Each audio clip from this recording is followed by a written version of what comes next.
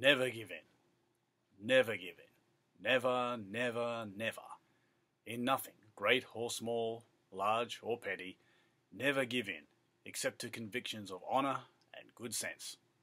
Never yield to force, never yield to the apparently overwhelming might of the enemy. Winston Churchill, on Moments in Minutes.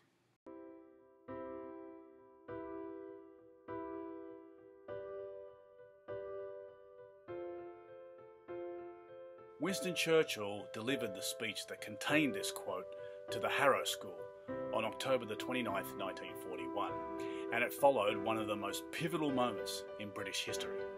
Following the Nazi Germany invasion of Poland in September 1939, the British sent an expeditionary force to help defend its ally, France. After quickly subduing Poland, the Nazis also took the Netherlands and Belgium in quick succession and trapped the British Expeditionary Force, along with the remnants of the Belgian army and three French armies along the northern coast of France.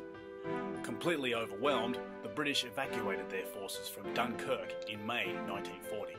Following this humiliation, Adolf Hitler decided to launch an air attack on Britain prior to a planned invasion while Britain's allies were all but destroyed and the Soviet Union remained neutral in the conflict.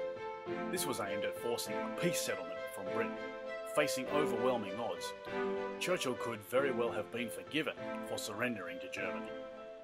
Instead, he rallied his country behind the efforts of the Royal Air Force and the RAF Fighter Command during the Battle of Britain, which lasted from June 1940 until July 1941 the RAF denied Germany air superiority, which forced Hitler to postpone his invasion plans and caused the first defeat of the seemingly invincible Nazi forces.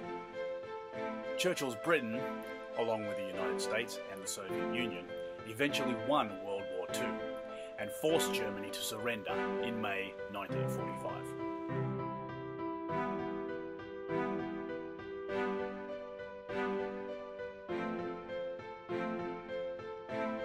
Just like Winston Churchill, we are faced with what we seem to believe are overwhelming odds and infinitely superior opponents in our own daily lives.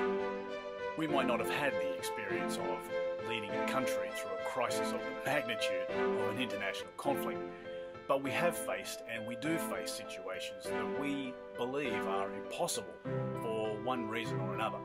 For example, a championship game against a much stronger team tests or exams that decide our career or future. That extremely attractive person that you want to date. In all of these scenarios, we have inner voices that say to us, It's too much for you.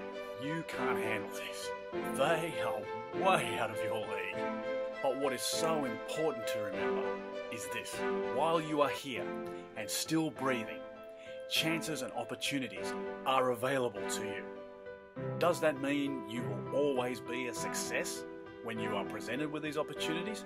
Of course not. You will fail, and you will get knocked down at some point in your life. However, the trick is not to give in. How long will it take you to get what you want? Who knows? It could take weeks, months, or even years.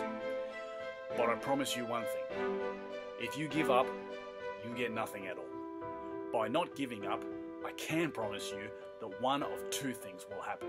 One, you will eventually get what you want, or two, you can open up new pathways and new opportunities to places and experiences that give you so much more than what you originally planned.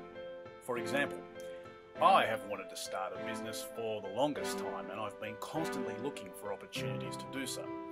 About two months ago, company I work for decided to close its doors, and I was faced with yet another mind numbing round of job hunting.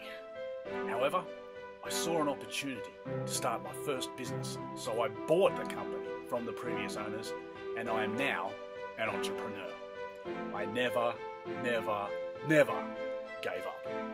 Winston Churchill could have given in too to the seemingly unstoppable force of Nazi Germany. Instead, he chose to fight, and he saved his country from tyranny. You too can save yourself from tyranny in your life by never, never, never giving in.